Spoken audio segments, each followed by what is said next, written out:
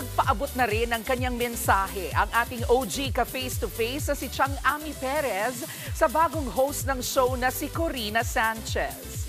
Hi, Miss Kay! Congratulations sa pula sa puti! Talaga iba ang Miss Karina Sanchez. Congrats! Yan nga po ang pagbati ni Chang Ami matapos na i-anunsyo kahapon na si Corina na ang bagong mukha ng ating OG talak serye.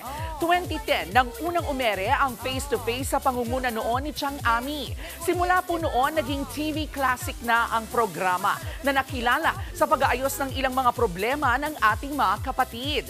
At simula nga po, ngayong November 11, ile-level up na natin ang harapan tuwing hapon sa muling pagratsyada ng face-to-face kasama na ang nag-iisang Corina Sanchez.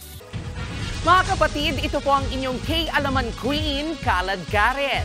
Always remember na ang K-Alaman ay K-Yamanan.